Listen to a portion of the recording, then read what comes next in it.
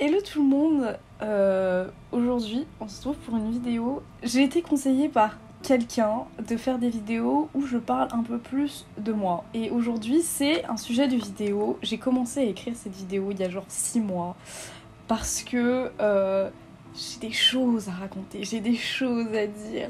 Aujourd'hui, je vais vous parler de mes pires dates. Alors, je vais faire une petite introduction pour prévenir, je, vais avoir 23 ans.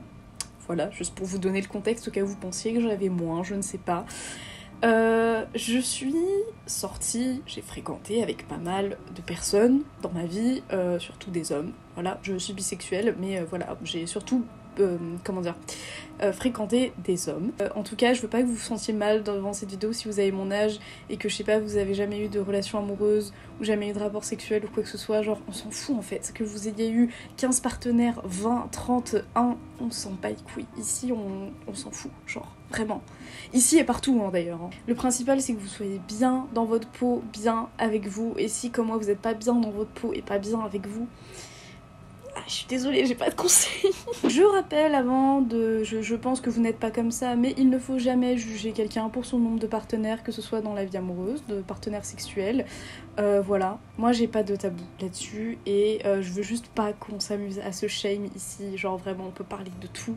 Et si vous voulez me shamer par rapport à ça, faites-vous plaisir, mais en fait votre commentaire sera supprimé. Donc on va commencer. Euh, du coup, c'est tout simplement la première personne que j'ai euh, date, on va dire. Euh, ouais, mon premier mec. J'avais allé 15 ans.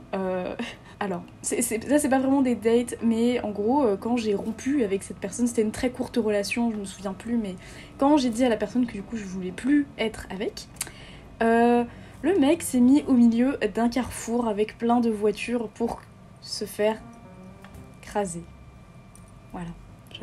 À 15 ans, quand tu vois ça, t'es pas bien. je, veux pas rigoler là-dessus, mais genre, quand t'es devant ça à 15 ans, que c'est ta première relation, genre, frérot. Ce, ce, type a pas été très gentil avec moi. D'ailleurs, j'ai pas fait de disclaimer, mais si vous vous reconnaissez dans cette vidéo, si vous regardez cette vidéo et que on s'est fréquenté, je suis désolée. Si tu es dedans, je suis désolée, mais fallait, fallait faire autrement quoi. Donc anecdote, cette personne-là du coup que j'ai fréquenté à mes 15 ans m'a renvoyé un message sur Facebook euh, pour s'excuser de son comportement et me dire ouais j'ai vu maintenant que t'es devenu connu et tout mais c'est pas du tout pour gratter de la fame, c'est pour savoir comment tu vas et tout. Non. Ensuite, euh, je voulais parler de... Euh, j'ai eu une relation très longue de 3 ans une très bonne relation, une très bonne personne, qui j'espère va très bien aujourd'hui d'ailleurs. Euh, sauf que à la fin euh, de, de, j'espère vraiment que les personnes ne vont pas tomber sur cette vidéo. À la fin de cette relation, on s'est un peu mis sur la gueule avec cette personne. Il faut que je trouve des noms. On va donner des prénoms de mecs d'animé. On va l'appeler Zéro. Zéro comme le mec de, Vampire Knight. Avec Zéro, on était fou amoureux, sauf qu'à la fin, on s'est mis sur la gueule. Et c'est-à-dire que on s'est mis ensemble, on s'est séparés, on s'est remis ensemble, on s'est reséparés. Et puis un jour, je me dis, vas-y, viens à la maison, on parle, euh, genre on discute, on essaie de voir si on peut réussir à rester ensemble sans se reséparer deux semaines après en fait. Moi je l'attends, tout sagement, je me dis bon allez, euh, on va repécho et tout. Il arrive en pleurs et il me dit euh, écoute, si j'ai mis du temps à arriver, soi-disant il avait mis du temps à venir chez moi parce qu'il révisait ses partiels, machin, machin. J'ai mis du temps à arriver parce que J'étais en date avec une meuf à qui j'ai parlé sur Tinder ce matin. J'ai essayé de coucher avec elle et j'ai pas réussi parce que je pensais trop à toi.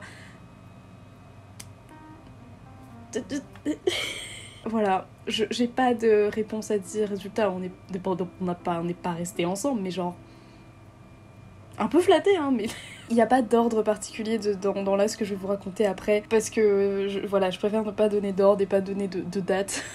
parce que sinon je suis dans la merde. J'ai euh, ensuite fréquenté quelqu'un euh, qu'on va appeler. Attendez, parce qu'il faut vraiment que je trouve un caractère, un personnage qui lui ressemble, genre. On va l'appeler Eren, parce qu'il ressemblait à Eren Yeager. Merde. Euh, Eren était très mims, sauf que un jour je débarque chez lui. Première fois que j'arrive, que je viens chez lui, je vais dans sa chambre, il part aux toilettes ou je sais plus ce qu'il trifouillait. Je m'assois et je me tourne et je vois un coussin avec une photo de lui et son ex Et vous savez, genre les coussins hyper cucu qu'on fait sur les trucs style spreadshirt et tout là, avec la date du début de leur relation. Et genre le coussin posé, genre vraiment pas, caché du tout, hein, vous savez, genre vraiment dans un coin, enfin sur sa chaise de bureau, genre pour euh, maintenir son dos, genre vraiment le truc bien placé, genre. Je, crois qu'après j'en ai reparlé, genre quand on s'est plus fréquenté, je lui ai dit, ouais, par contre, je sais pas si tu, tu te souviens que t'avais ça. Ok, genre doucement, je suis en train de parler d'ex, mais. Euh, du coup, ouais, je lui en ai reparlé, je lui ai dit, mais est-ce que t'étais au courant qu'il y avait ça? Il m'a fait, ouais, mais mon ex, voilà, je suis jamais vraiment passée au-dessus. Et après, dès qu'il m'a dit ça, je fais, ok. Ok. Ok, j'ai compris. Ensuite, on va rentrer dans une anecdote un peu plus. Euh, un peu plus sombre. Je suis sortie avec un abonné. Voilà. Si tu passes par là, j'espère que tu vas bien. Euh, je rigole pas, mais enfin, c'est juste que je me dis si ces personnes se reconnaissent devant ces vidéos, m'en voulez pas, et de toute façon, je cite pas de prénom. Donc, euh. on va l'appeler Armin parce que j'ai pas beaucoup de références de prénoms de mecs masculins parce que dans tous les animés que je regarde, c'est principalement pour les meufs. Du coup, j'ai pas beaucoup de, rêves. Armin était un abonné à moi qui s'était proposé pour monter mes vidéos quand je, cherchais un monteur en fait. À ce moment-là, juste on a échangé vite fait, je lui avais dit bon bah écoute j'ai trouvé quelqu'un, c'est gentil, merci. Et au final on s'est recontacté des mois plus tard et euh, je sais plus pourquoi il a réagi à une de mes stories, j'étais là ah merci. Et, euh, puis après je sais pas pourquoi, euh, on, a, on a continué à parler et puis il avait pas photo de lui sur son profil, après il m'a envoyé une vidéo de lui, on voyait sa tête, j'étais en mode he do be fine though Et puis voilà, en fait, euh, on a parlé, on a parlé. On s'est vu en vrai. Euh, et franchement, ça a gonflé mon ego de malade parce que, genre, quand il m'a vu en vrai, il m'a dit Putain, t'existes vraiment, genre, t'es comme sur Insta. J'étais là en mode. Je suis désolée. Mais vraiment, ça a flatté mon ego de ouf. Et puis voilà, bah, juste, euh, c'est une anecdote. Je suis sortie avec un abonné. Il était gémeaux comme moi, c'est peut-être pour ça que ça n'a pas marché gentil, j'espère qu'il va très bien aujourd'hui. Ensuite, euh, quelqu'un de Tinder. Première chose, c'était quelqu'un qui n'arrêtait pas de se vanter que son frère sortait avec une TikTokeuse française très très très connue. Genre vraiment très connue, c'est-à-dire que je vais pas dire son nom parce que je vais mettre des gens dans la sauce. Enfin, je, enfin, pas dans la sauce, mais genre on peut facilement faire des liens. Mais du coup, il arrêtait pas de se vanter que son frère euh, sortait avec une TikTokeuse française très très connue. Du coup, moi j'étais là en mode fine, ok. Genre en gros, il me disait non, mais t'inquiète, les meufs euh, sur Instagram qui ont beaucoup d'abonnés, je connais. J'étais là, ouais, enfin, moi j'ai 30 000 abonnés, la meuf elle en a 3 millions. Euh, puis c'est pas, pas ta meuf en fait, c'est la meuf de ton frère. Bref, d'abord il y a des appels FaceTime où il me demande si j'ai beaucoup de vêtements en cuir, si je porte beaucoup de latex, si j'ai des cuissardes, des talons. Vous le sentez venir. Alors attention, je ne critique pas les kinks, mais c'est juste la façon dont ça s'est fait qui était très bizarre. Donc du coup, je me dis, bon ok, il, a peut-être un... Il, a un kink, genre. Ok, pour une petite définition, un kink c'est juste un, on va dire un fantasme spécifique. Donc on se voit en vrai, euh, on se pécho un petit peu, machin, machin, et puis du jour au lendemain, juste il me ghost. Et je ne comprends pas pourquoi. Donc j'essaie, je lui envoie des messages, je lui envoie des messages, soit je suis en lu, soit je suis en euh, pas ouvert. Je me dis bon bah en fait euh, un jour je lui envoie un message, je lui dis écoute genre euh, si t'as plus envie de me voir dis-le moi comme ça moi je passe à autre chose parce que ça me saoule en fait que qu'on me fasse ça. Je préfère qu'on me dise directement tu me plais pas, ciao et genre ok. Et en fait donc du coup il commence à me dire non mais je suis pas prêt à me lancer dans une relation au final voilà, désolé, je me dis bon bah ok. Et je crois genre 6-7 mois plus tard, la personne revient dans mes DM Insta et commence à me dire pourquoi, euh, pourquoi il, est parti, enfin pourquoi il m'a ghost. En gros, c'était quelqu'un qui était à fond dans le délire euh, domination. Du coup, lui c'était le dominé et la fille, du coup, la dominante.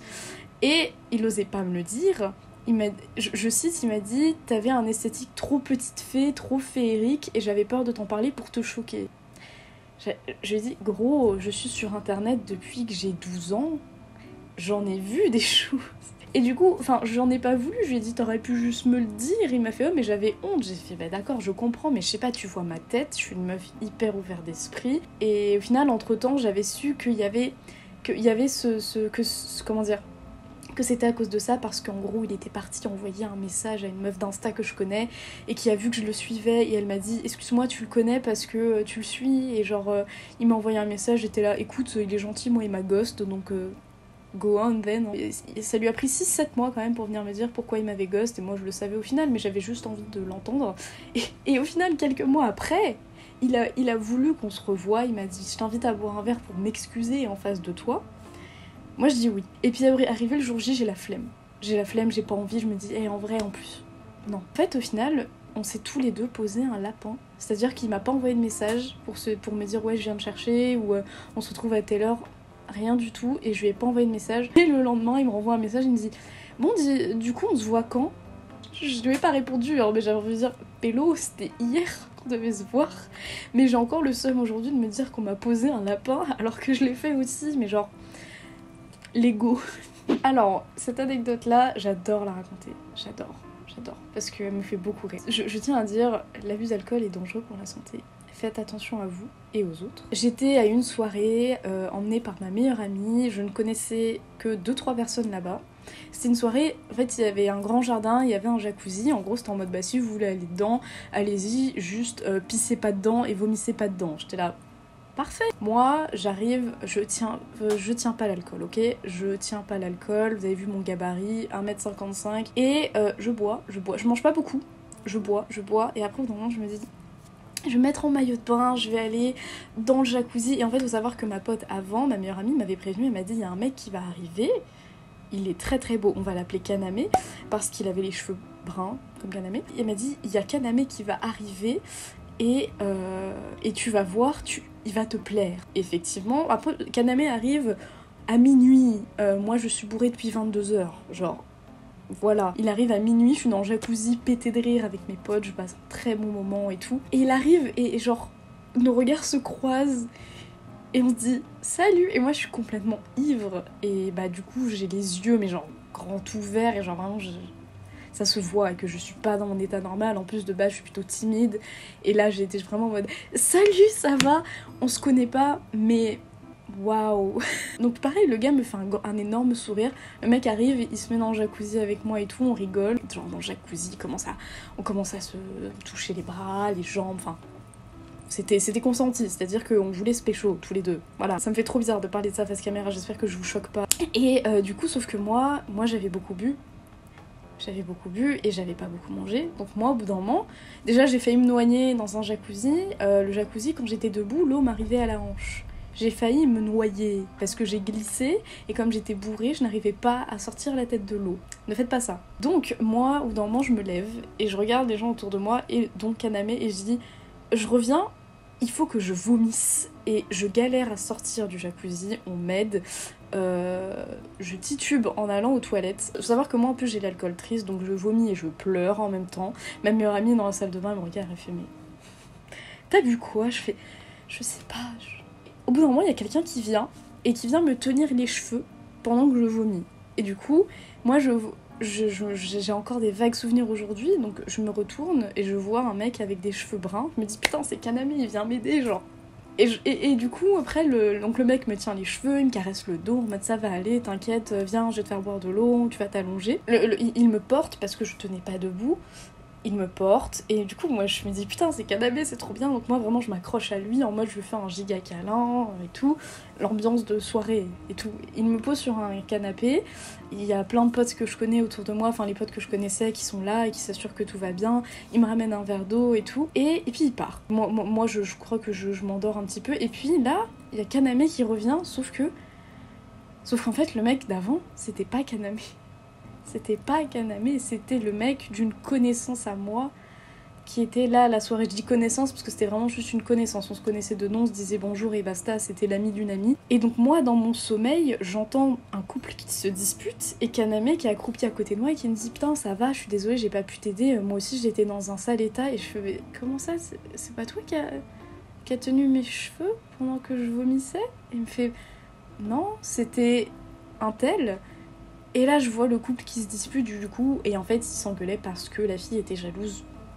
Et euh, je me suis excusée après auprès de la fille d'avoir de, été aussi tactile avec son mec, et je lui dis, je suis désolée, je l'ai confondu. Euh, dans ma tête, j'ai juste vu un mec aux cheveux bruns, j'ai cru que c'était Kaname, je suis désolée. Je sais pas si elle m'a pardonné, j'espère qu'elle m'a pardonné. Et puis pour finir sur cette histoire avec Kaname, au final, euh, à cette soirée-là, on ne s'est pas pécho, juste on s'est endormi l'un contre l'autre. Euh, on s'est revu une semaine après, on s'est pécho et puis après il m'a ghost. J'adore me faire ghost. Là c'est la deuxième fois, la troisième fois, c'est la prochaine histoire. Prochaine histoire, rappeur SoundCloud. Je vous déteste. je suis désolée, j'ai vraiment. J'allais je, je, dire je vous adore les rappeurs SoundCloud, mais j'ai d'énormes préjugés sur vous. Donc c'est quelqu'un euh, qui est l'ami d'une amie et euh, qui s'est mis un jour à liker mes photos Insta et j'étais en soirée, pareil, j'étais bourrée. Et du coup, je juste, euh, en gros, je le vois sur une story d'une de mes potes et je vais voir le profil. Très beau. Je like les photos, je like pas mal de photos et en plus je suis bourrée donc je crois que j'ai liké genre plein plein de photos à la suite. Vous savez, la meuf pas du tout cramée quoi. Et du coup, je like plein de photos et le lendemain matin, je me réveille et je vois pareil que lui a liké plein de mes photos et en gros, ce jour-là, je me rappelle, j'avais eu un souci de euh, quelqu'un qui se faisait passer pour moi. Et le mec m'envoie un screen, il me dit euh, Attention, je crois qu'il y a quelqu'un qui se fait passer pour toi. Et je dis Ah putain, merci, trop cool. Enfin, je lui réponds comme un abonné en fait. Je sais plus pourquoi, je vais checker son profil. Et là, je fais le lien. Et là, je vois que j'ai liké genre plein de photos. Et là, je me souviens de ce que j'ai fait la veille. Je me dis Oh la honte. Et en fait, on échange, on échange, on parle, on parle, on parle. Euh, on s'envoie des vocaux et tout. Et euh, il m'invite à son studio d'enregistrement pendant qu'il enregistre un son. moi, je passe une très bonne journée, je suis très contente. Il y a des petits, euh, il y a des petits, genre, des petits gestes tactiles, genre nos bras ils se touchent quand il vient se poser à côté de moi, quand il fait des petites pauses. on se jette des petits regards, des petits sourires et tout. Super mime, super innocent. Et puis un jour, juste, je l'invite chez moi et, et on mange ensemble. Et on passe la soirée ensemble, et genre on s'embrasse, c'est tout il dort euh, chez moi, il se passe rien. Euh, le lendemain, il repart. Et il est reparti à jamais, genre. genre, il repart et après, j'ai pas eu de nouvelles pendant une semaine. Une semaine. Alors que quand il est parti, il m'a fait un bisou, il m'a fait un câlin. Et j'ai pas eu de nouvelles pendant une semaine et j'ai envoyé un message après 7 jours. J'ai attendu 7 jours. Je lui ai dit, parce qu'il regardait mes stories il regardait toutes mes stories Insta, je, devenais ouf. Et au bout d'un moment, je lui envoie un message, je lui dis écoute, si je te plais pas, il y a pas de problème, juste dis-le moi parce que voilà, comme je vous ai dit, j'ai un problème. Si tu me dis pas que je, te plais pas, je ne peux pas savoir, je ne peux pas deviner, dis-le moi, c'est pas grave, j'accepte le rejet. C'est faux, j'accepte pas le rejet, mais mais je le tolère. Et puis du coup, euh, donc il me répond, il me dit je suis désolée, je savais pas comment te le dire, mais t'as l'air trop marqué par tes histoires précédentes, t'as l'air d'avoir trop de trauma, euh, et du coup j'ai peur de te blesser, donc je préfère qu'on reste amis. Résultat, on n'est pas resté amis. Euh, j'avais envie de dire ok, va te faire foutre. je suis horrible. C'est une anecdote très courte, euh, mais en gros, bon, on, va utiliser, on va utiliser les termes. un mec que j'ai date sur Tinder, je le rencontre en vrai, au final, quatre fiches un peu, il est en gros, ses photos Tinder, c'était genre juste son bon profil. Et, et en face, il était, il était pas beau, je suis désolée. De profil, il était mignon, mais de face, il était vraiment pas beau. Il était un peu petit. Je, goût personnel, je, voilà, je le trouvais un peu trop petit à mon goût. Et c'est, encore une fois, c'est juste mes goûts. Et, euh, et du coup, euh, genre déjà, bon, je le vois, je me dis, ok. Il y avait pas mal de choses qui me plaisaient pas. J'aimais pas sa façon de parler, j'aimais pas sa voix, j'aimais pas son sourire il me plaisait pas. Qu'est-ce que vous voulez que je vous dise? Il me plaisait pas. Au final, on, a, on s'est quand même pécho. Écoutez, euh, dépendance affective, ok, c'était une période très dure. Euh, j'avais juste besoin qu'on me donne de l'affection. voilà, on se pécho quand même. Euh, le lendemain matin, je galère à le faire partir de chez moi. C'est-à-dire que il veut vraiment rester, genre, il veut vraiment passer du temps avec moi. C'est très gentil, hein, mais. Non. Et du coup, je suis vraiment en mode Oh, putain, 15 heures euh, Bah moi du coup j'ai des trucs à faire pour YouTube et tout, et genre ça c'est urgent. Et il me fait ouais, ouais je vais y aller. Et genre vraiment il voulait pas partir. Et au bout d'un moment bah, je lui fais non vraiment j'ai des trucs à rendre et tout j'ai une deadline j'avais absolument rien à faire c'était un dimanche euh, voilà. Et, et, du coup il part. Il part et il me dit bon bah on s'appelle et tout. Je fais oui on s'appelle. Au final il continue après de m'envoyer des messages et moi je réponds de moins en moins. Euh, j'avais pas vu qu'il y avait la gourde derrière, c'est pas beau. Je lui réponds de moins en moins, il le remarque, il remarque que je suis moins là, que je suis moins présente et que voilà. Et genre juste un jour il pète un câble, il me dit écoute, euh, tu t'es foutu de ma gueule, c'est pas bien, t'aurais dû me le dire dès le début alors que je lui avais dit dès le début que je savais pas trop ce que je cherchais et que c'était pas forcément un truc euh, hyper posé. Vraiment, les... faites pas les premiers dates chez vous, genre Là, c'était le confinement, j'avais pas le choix. Enfin, c'était le confinement, c'est-à-dire que non, c'était le couvre-feu. Donc, du coup, après 18h, c'est mort, on pouvait rien faire. Sur toutes les histoires que je vous ai racontées, il y a, y a peut-être 3-4 personnes qui m'ont bloqué aujourd'hui. En fait, il y a des personnes qui m'ont bloqué parce qu'ils m'ont dit Ouais, euh, bah j'en ai marre de te voir dans mon fil d'actualité. Et du coup, bah je préfère te bloquer. Et en vrai, c'est ma petite fierté personnelle des fois de me dire je hante mes ex en apparaissant dans leur page Explorer. Mais vous avez qu'à pas liker des meufs qui, me ressemblent aussi, genre. Je crois que j'ai fait le tour pour cette vidéo. Je crois que je vous ai dit toutes les histoires un peu les plus farfelues qui me sont arrivées. J'en ai probablement d'autres, mais euh, là c'est vraiment les seules auxquelles je pense pour l'instant. si ça vous intéresse une partie 2, n'hésitez pas à me le dire et j'essaierai de creuser dans mon passé de charron.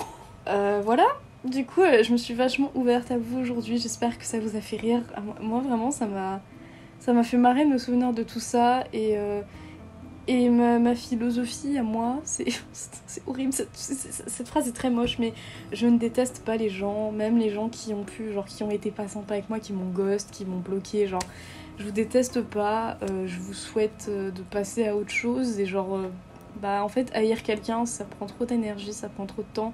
Même pas haïr mais juste ne pas aimer quelqu'un, enfin genre ça prend trop de temps, trop d'énergie, juste genre euh, bloquez-moi franchement. Si ça vous fait vous sentir mieux, et bah bénef. Moi je vous vois plus, vous me voyez plus.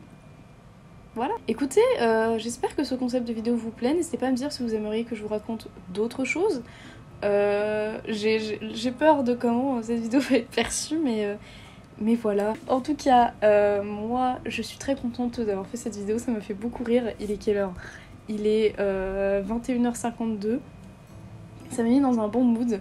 Moi, je vous fais des bisous. J'ai plus de place sur ma carte mémoire. N'hésitez pas à vous abonner, à me suivre sur les réseaux, les réseaux sociaux, pardon. Et je vous dis à bientôt dans une prochaine vidéo. Bye